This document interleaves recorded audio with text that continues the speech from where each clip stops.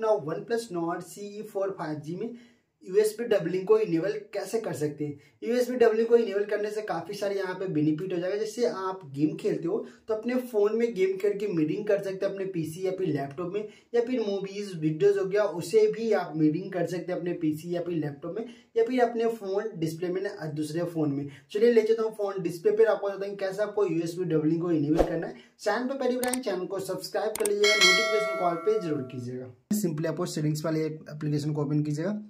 Open करने के बाद आपको सिंपली नीचे स्कॉल करके आ जानी होगी। नीचे स्कॉल करके आने के बाद एक ऑप्शन आपको दिख रहा है additional settings simply additional settings पे आपको क्या करना है? क्लिक कर देनी है। क्लिक करने के बाद आपको नीचे स्कॉल करके आ जानी है और ये कि यहाँ पे डेवलपर ऑप्शन करके एक ऑप्शन आपको दिख रहा होगा। डेवलपर ऑप्शन अब ये कैसे इनेबल करना अगर आप में इनेबल नहीं है तो डिस्क्रिप्शन में लिंक मिल जाएगा या फिर प्लेलिस्ट चेकआउट कर लीजिएगा। सारा का सारा मैं प्लेलिस्ट बना चुका हूँ। वहाँ पर जाकर देख लीजिएगा डेवलपर ऑप्शन को कैसे इनेबल करते हैं। तो सिंपली डिस्क्रिप्शन में लिंक मिल जाएगा। डेवलपर ऑप्शन को इनेबल कर लीजिएगा। इनेबल करने के बाद आपको यहाँ पे डेवलपर ऑप्शन पे क्लिक करना होगा। डेवलपर ऑप्शन ऑप्शन पे जब क्लिक कीजिएगा तो आपको सिंपली नीचे स्कॉल के आ जानी नीचे स्कॉल के आने के बाद यहाँ पे देखिए यूएसबी डबिंग करके ऑप्शन आपको दिखेगा यूएसबी डबिंग यहाँ पे यूएसबी डबिंग को इनेबल कीजिएगा, उसके बाद सिंपली आपको कहना ओके कर देनी होगी।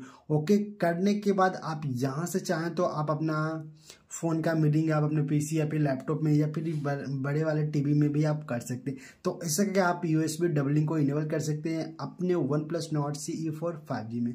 वीडियो अच्छी लगी तो वीडियो को लाइक कर दीजिएगा। चैनल पर पहले बार चैनल को सब्सक्राइब करके नोटिफिकेशन कॉल पर ज़रूर कीजिएगा।